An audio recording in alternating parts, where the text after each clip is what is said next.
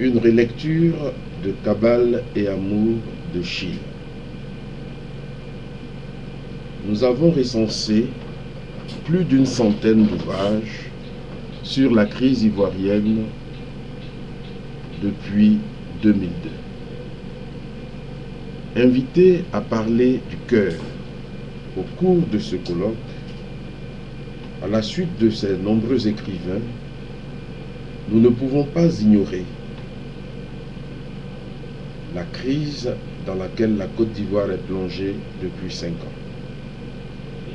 Nous en retenons deux d'entre eux particulièrement pour introduire notre propos. D'abord, Amon Etian, qui nous apparaît comme un africaniste, et Maurice Bandamon, un occidentaliste. Dans son ouvrage L'heure de la Renaissance a sonné. L'Afrique a-t-elle une solution pour l'Afrique? Etienne propose un salut de l'Afrique qui passe par l'illumination totale et donne l'exemple de Mishwa Nirmala Dharma Sahaja Yoga comme l'initiateur de cette entreprise. Il pense que le développement actuel n'est pas un développement total, car il faut entre autres redynamiser les campagnes.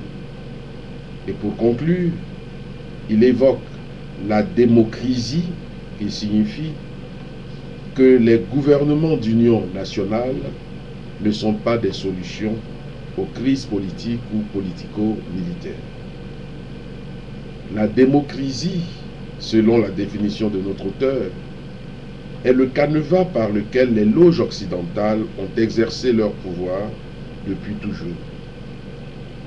Malgré le bilan lourd des méfaits causés par les Occidentaux, notre auteur pense que les Noirs gardent leur cœur ouvert aux Blancs. Quant à Maurice Bandamon, un occidentaliste, il parle des origines de la sale guerre. Dans son ouvrage Côte d'Ivoire, chronique d'une guerre annoncée. Pour cet auteur, l'ivoirophonie peut nous aider à combattre à la fois la haine que nous avons dans nos cœurs et l'aigreur devant le succès des autres, surtout envers ceux qui viennent de loin. Cette ivoirophonie est une nouvelle manière de penser et de réfléchir la Côte d'Ivoire. Elle est surtout une purge forte de la famille du Nyamankoudi pour déconstiper l'éléphant ivoire. Comme nous le constatons, dans un colloque comme celui qui se tient en ce moment, la responsabilité des intellectuels est importante. Notre cœur ne peut rester indifférent aux souffrances du peuple ivoirien. En voulant parcourir la modeste œuvre de Johann Christoph Friedrich von Schiller, Cabal et Amour, nous voulons soutenir que le problème entre la France et la Côte d'Ivoire est un problème de cœur, un mélodrame flamboyant, comme celui qu'ont vécu Ferdinand et Louise Miller dans cette pièce. Mais auparavant, il nous faut admettre que cette œuvre est un pamphlet révolutionnaire notre critique de la société ivoirienne et de la communauté internationale trouve ici toute sa justification.